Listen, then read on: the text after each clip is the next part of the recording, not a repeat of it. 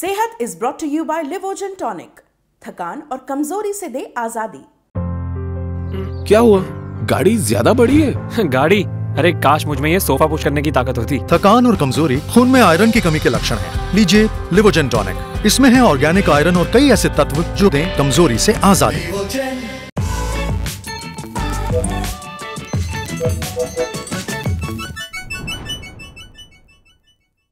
नमस्कार अदाब मेरा नाम है सरवत। आप देख रहे हैं सेहत। ललन टॉप का हेल्थ शो जहाँ बात होती है हमारी और आपकी हेल्थ की। पहला सेगमेंट है हालचाल। आज बात करेंगे चेहरे पर दिखने वाली लाल नसों के बारे में।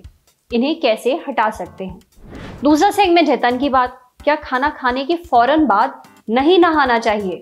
और तीसरा सेगमेंट है खुराक, यानी एक झकास सी हेल्थ टिप जैसे सब्ज़ियाँ खरीदते वक्त रीयूजेबल थैलों का इस्तेमाल करते हैं तो ये गलती हरगिज ना करें। वेदिका दिल्ली की रहने वाली हैं, इकतीस साल की हैं। अब इनके हमें कई मेल्स आ चुके हैं। इनको एक परेशानी है, इनके चेहरे पर लाल रंग की नसें दिखती हैं। ये दिक्कत कई सालों से थी, पर उम्र के साथ ये नसें और ज़्यादा साफ़ दिखने लगी हैं, साथ ही पूरे चेहरे पर भी दिखती हैं अब। वेदिका मॉडलिंग करती हैं अब ये नसें उनके लिए एक परेशानी का सबब बनती जा रही हैं। पहले वो फाउंडेशन की मदद से इन्हें ढकने की कोशिश करती थी, पर अब ये नसें फाउंडेशन लगाकर भी दिखती हैं।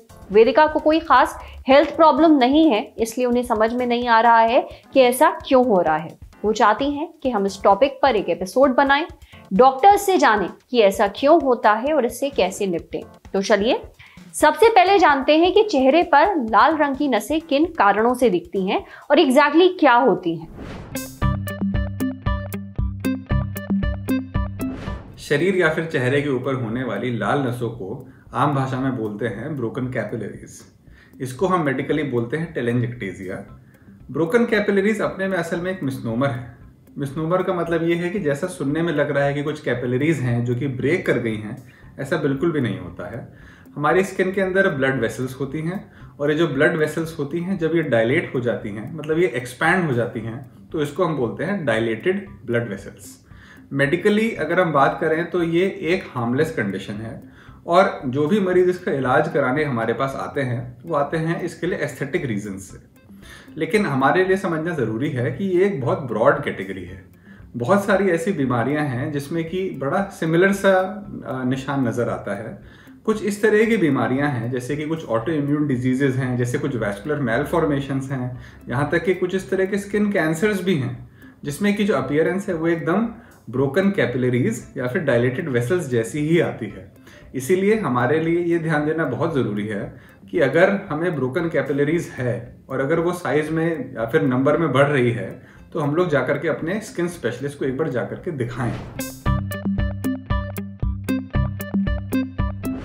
ब्लड वेसल्स होती हैं हमारी स्किन में, और ये जो ब्लड वेसल्स हैं, इनके अंदर ब्लड फ्लो करता है। और ये ब्लड वेसल्स का जो वेसल वॉल है, वो अडेप्ट होता है कि जब ब्लड प्रेशर थोड़ा बढ़ेगा तो उसके हिसाब से वो एक्सपैंड कर सकती हैं, और जब ब्लड प्रेशर थोड़ा घटेगा तो उसके हिसाब से वो कॉन्ट्रैक्ट कर सकती हैं। तो ये जो ब्लड की वेसल वॉल है, ये एक्सपेंशन और कॉन्ट्रैक्शन दोनों के लिए केपेबल होती है। अगर किसी कारण से ब्लड का प्रेशर बहुत ज़्यादा बढ़ता है या फिर हमारी जो ब्लड वेसल वॉल की जो मसल्स हैं, अगर वो डैमेज हो जाती हैं तो ये वेसल वॉल एक्सपैंडेड स्टेट में रह जाती हैं, जिसको हम कहते हैं डायलेटेड वेसल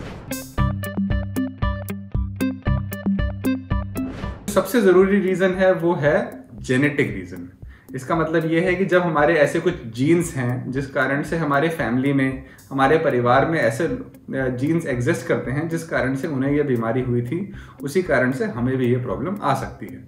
इसके अलावा दूसरा एक इंपॉर्टेंट रीज़न है सन एक्सपोजर ये देखा जाता है कि जब हम लोग बहुत लंबे समय तक, बहुत सालों तक धूप में बाहर निकलते हैं तो सन रे से हमारी स्किन की सुपरफिशियल लेयर्स डैमेज हो जाती हैं। खासकर कॉलेजन और इलास्टिन नाम के दो प्रोटीन्स जो कि हमारे ब्लड वेसल्स को सपोर्ट करने का काम करते हैं, उनका जो क्वांटिटी है वो कम हो जाती है। इस कारण से ये डायलेटेड वेसल्स नज़र आ सकती हैं।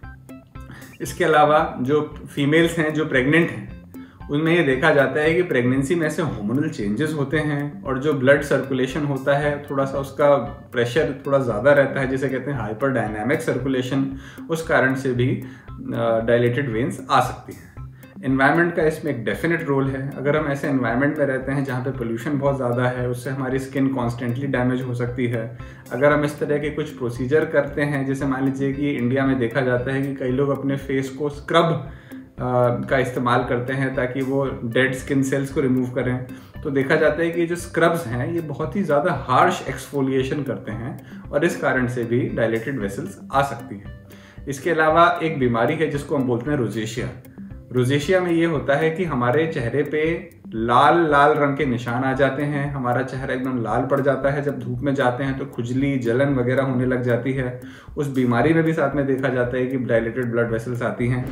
जो लोग अल्कोहल का ज़्यादा इस्तेमाल करते हैं तो अल्कोहल से भी ब्लड वेसल्स को डायलेट करने की प्रॉपर्टी उसमें पाई जाती हैं। इसके अलावा जो लोग बहुत मिर्च वाला खाना लेते हैं या फिर ज़्यादा कॉफ़ी या फिर चाय का सेवन करते हैं, उनमें भी देखा जाता है कि ब्लड वेसल्स डायलेट करने की प्रॉपर्टी हैं। किन कारणों से आपके चेहरे पर या शरीर पर लाल रंग की नसें दिख रही हैं, ये आपने जान लिया। अब बात करते हैं बचाव, कुछ घरेलू उपचार और इलाज की। देखिए जेनेटिक्स पे तो हमारा खास कंट्रोल नहीं होता है, लेकिन इसके अलावा जितने सारे फैक्टर्स हैं कि हम एक्सट्रीम सन एक्सपोजर से बचें, अगर हमें धूप में जाना ही है तो अच्छी सनस्क्रीन का इस्तेमाल करें एक्सट्रीम हीट से बचें, जिन लोगों को डायलेटेड वेसल्स हैं, वो स्टीम सोना स्पा वगैरह से बचें, अपने चेहरे को बहुत गर्म पानी से ना धोएँ। इसके अलावा जो इस तरह के खाने के आइटम्स हैं, जैसे कि स्पाइसी फ़ूड हो गया, जैसे कि आपका कॉफ़ी टी और एक्सेसिव एल्कोहल इनटेक इस सबसे दूर रहें। तो इससे इसका प्रिवेंशन होता है। अगर इसके ट्रीटमेंट की बात करें तो देखिए सबसे पहले तो ये ज़रूरी है कि हम इस डायग्नोसिस को कंफर्म करें। मैंने आपको बताया कि ऐसी और भी बीमारियाँ होती हैं जो कि डायलेटेड वेसल्स जैसी नज़र आ सकती हैं। तो अपने डर्मेटोलॉजिस्ट से मिलें। इसके इलाज में कुछ होम रेमेडीज़ हैं, जैसे कि कई लोगों में देखा जाता है कि जब वो ठंडे पानी से अपने चेहरे को धोते हैं, कुछ लोगों में देखा जाता है कि एलोवेरा का इस्तेमाल से या फिर कैलेमाइन के इस्तेमाल से या फिर विटामिन सी के सीरम से भी इसमें थोड़ा सा रिलीफ लोगों को मिलता है।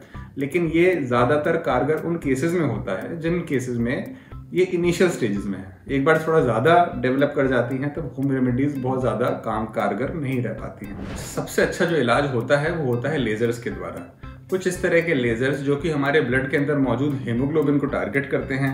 उससे ये होता है कि जो हमारा ब्लड होता है वो कोएगुलेट हो जाता है, जो हमारी वेसल्स वॉल्स होती हैं वो कोलैप्स कर जाती हैं और ग्रेजुअली ये जो ब्लड वेसल्स हैं ये ख़त्म हो जाती हैं। इस तरह के जो लेज़र्स हम लोग कॉमनली इस्तेमाल करते हैं, वो alexandrite laser N D YAG laser इसके अलावा हम लोग पल्स डाई लेज़र का इस्तेमाल करते हैं। एक आईपीएल सिस्टम आता है जो कि लेज़र्स की तरह ही काम करता है।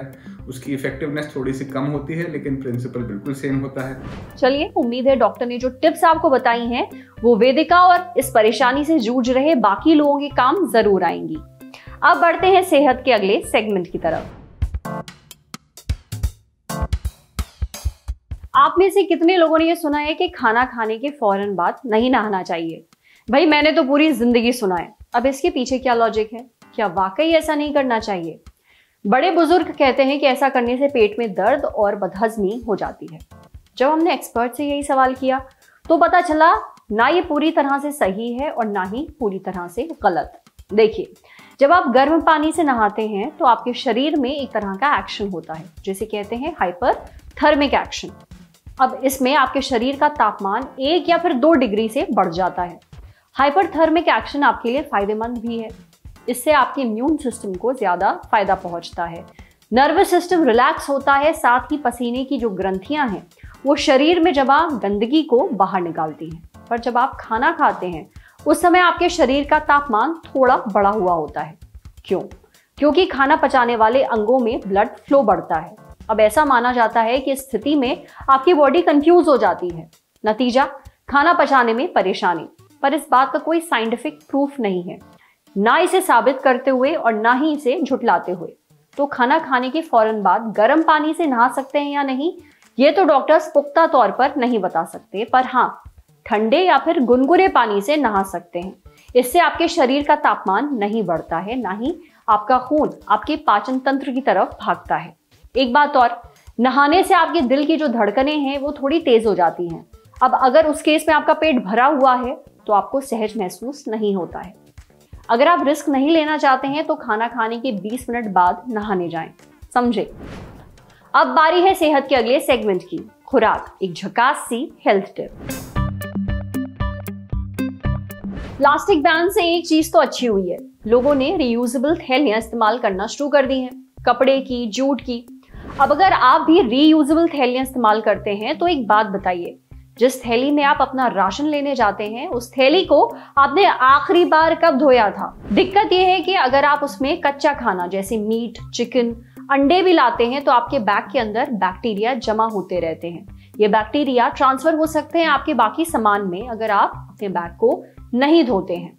अगर आपका बैग कपड़े का है तो आप उसे वॉशिंग मशीन या फिर साबुन और गुनगुने पानी से धो सकते हैं। अगर आपके बैग पर एक प्लास्टिक की परत है तो उसे एंटी बैक्टीरियल वाइप या फिर स्प्रे से साफ़ करें। आज सेहत में इतना ही। अच्छा अगर आप एक डॉक्टर है और हमसे कुछ शेयर करना चाहते हैं तो जो ईमेल आईडी इस वक्त आपको अपनी स्क्रीन पर दिख रही है, उस पर हम एक मेल भेज दीजिए। कैमरे के पीछे हमारे साथ हैं विभव। ये वीडियो फेसबुक पर देख रहे हैं तो हमारे फेसबुक पेज को लाइक करिए। यूट्यूब पर देख रहे हैं तो हमारे चैनल को सब्सक्राइब करिए। बेल आइकन पर ज़रूर क्लिक कर दीजिए, ताकि जब भी हम कोई नया वीडियो अपलोड करें तो उसका नोटिफिकेशन आप तक सबसे पहले पहुँचे। शुक्रिया।